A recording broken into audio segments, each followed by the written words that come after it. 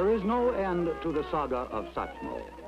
With a warm heart and a sweet horn, he goes about the world making friends for himself, for jazz, his people, and his nation.